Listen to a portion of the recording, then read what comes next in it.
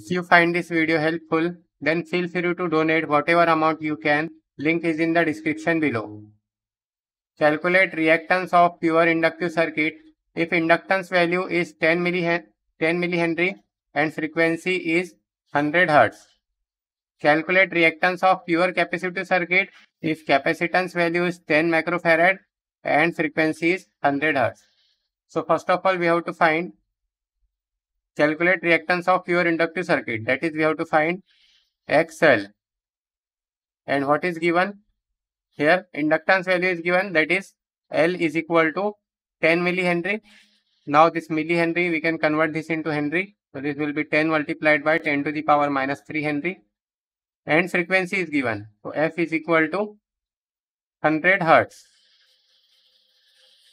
So from this we can find the value of XL. Because XL is equal to 2 pi FL. So this will be 2 pi now f value is frequency, it is 100 multiplied by L is 10 into 10 to the power minus 3.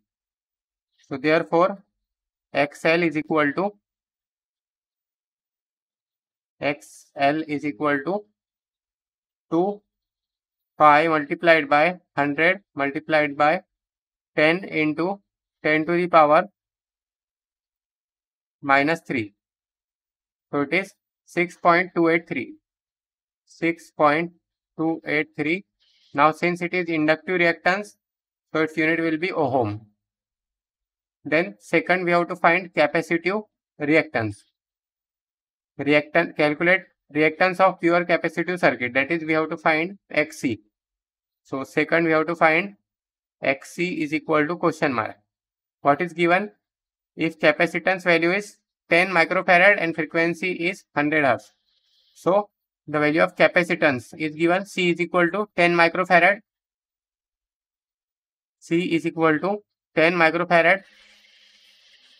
Now, we can convert this microfarad to farad. So, this will be 10 multiplied by 10 to the power minus 6 because here it is micro. So, we have to multiply this by 10 to the power minus 6 and this will be farad. Then frequency is 100 Hertz. So frequency f is equal to 100 hertz. So therefore xc is equal to 1 upon 2 pi fc.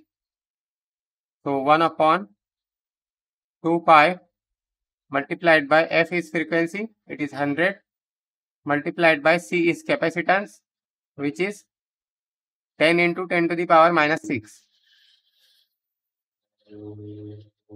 So this is 1 upon 2 pi multiplied by 100 multiplied by 10 multiplied by 10 to the power minus 6.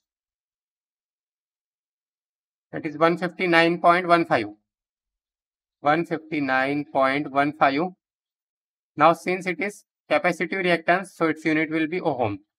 So therefore XC is equal to 159.15 and its unit is ohm.